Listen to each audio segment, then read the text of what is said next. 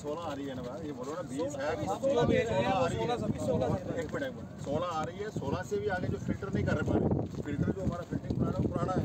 वहाँ सब कुछ बैठ गया है। तभी शहर में पानी की इस क्षेत्र में यहाँ से पानी चलता है। बोला बोला इनको हाँ। इमीडिएटली आप कुछ भी काम करवाना चाहिए उसको बोला इन्होंने मिनट्स में मतलब रिकॉर्ड कर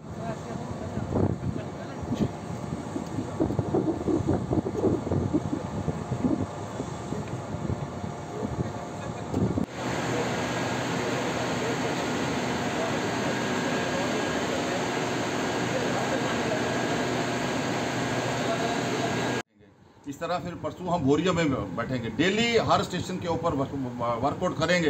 जो जो कमियाँ होंगी, जहाँ उनको कैसे दूर किया जा सकता है, हमारा जो स्टाफ है एबसेंट है, हमारे ऑफिसर एबसेंट है, लेकिन कमी फंड्स की है।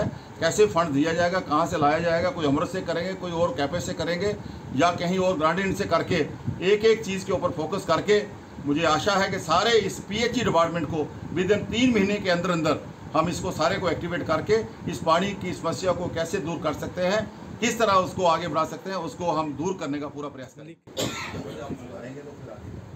उसके लिए जो भी हो सकता है